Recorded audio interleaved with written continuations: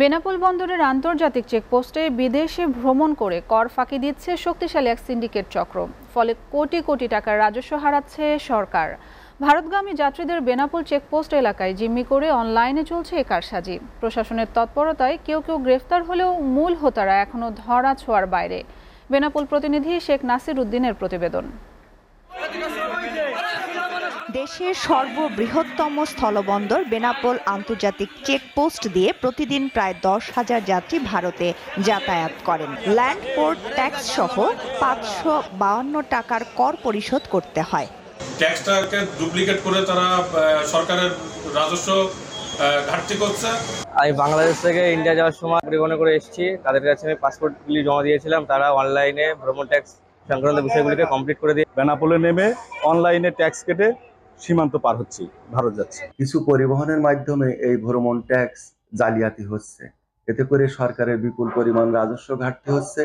বর্তমানে এই বন্দরে ট্যাক্স ফাঁকির প্রবণতা বেড়েছে কয়েক গুণ। অনলাইনে যাত্রীদের ভ্রমণ ট্যাক্স পরিশোধের নিয়ম চালুর পর থেকে জাল ভ্রমণ কর ফাঁকির প্রবণতা বৃদ্ধি পেয়েছে। চব্বিশ মার্চ বাংলাদেশ থেকে ভারতে যাওয়ার সময় পাঁচ ভারতীয় পাসপোর্টধারী যাত্রীকে এই অভিযোগে আটক করে কাস্টমস কর্তৃপক্ষ।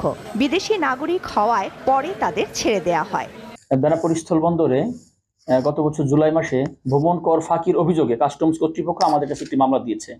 এই মামলায় আমরা কয়েকজন আসামিকে গ্রেপ্তার করেছি, বাকিরা বিজ্ঞ আদালতে জামিনে আছে। মামলাটি এখনও তদন্তাধীন।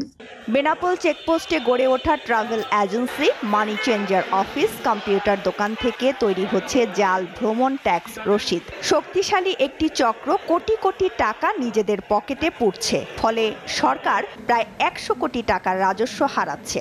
সাম্প্রতিক সময়ে একটি চক্র রয়েছে যারা পুনরায় এই কাজে ইনভলভ হয়েছে তারা। কিছুদিন আগে আমরা পাঁচজন ভারতীয় পাসপোর্টধারী যাত্রীদের কাছ থেকেও একই পন্থায় তারা ভ্রমণ করের জালিয়াতির যে রসিদ সেটি সহ আটক করা হয়। ফলশ্রুতিতে কাস্টমস বেনাপোল কাস্টমস থেকে সাধারণ ডায়েরি করা হয়।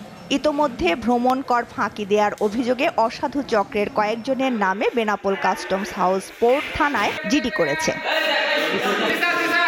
SATV news desk